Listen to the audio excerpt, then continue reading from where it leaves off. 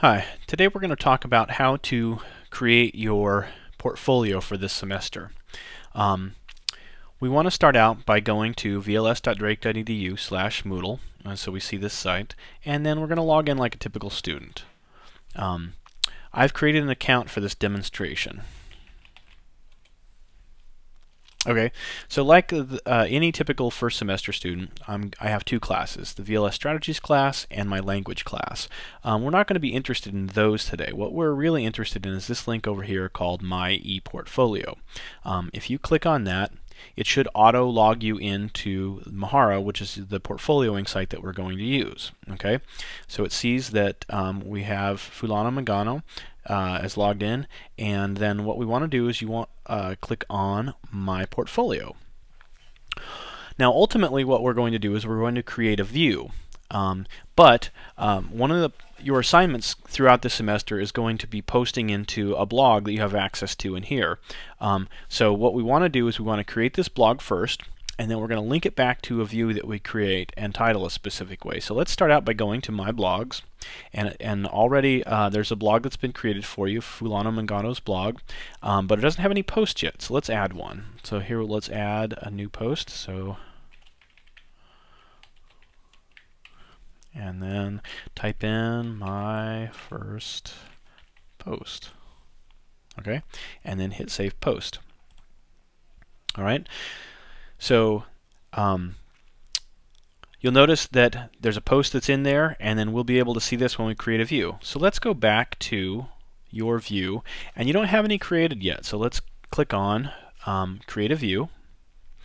And then it asks you, the first question that asks you is what do you want to put in your view. Now you can put all kinds of things in, but we only have one thing to put in at this point. Um, let's take this blog artifact and you just click and drag and you can put it anywhere in this view. Now by default you have a three column view and so you can place it here, here, here. Let's just put it over here on the left hand side. Okay, it asks what you want to title it and this is going to be my blog.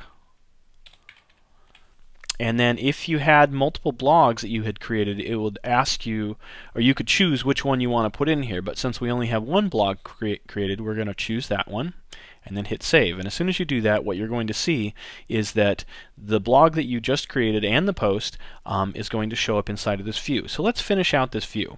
Uh, we're going to click on the next button. And this is where we want you to title this um, something specific. So we want to title it with your name, so Fulano, is my name of the account that I'm using. And then um, ePortfolio. And then spring 2010. And we're assuming that you may want to create multiple views or you may want to use this semester over semester. And so we want to be able to know which view or that you're using for your portfolio this semester. So we want it titled this way. Um, so uh, can click the next button. Uh, you're going to want to click the add next to the public. Don't worry about the to or from at all. And then click save. So now that we've seen Fulano Mangano's ePortfolios for, for spring 2010. So even if you had gone in and created other views, or if you have ones from previous semesters, we know exactly which one that you're using for this semester.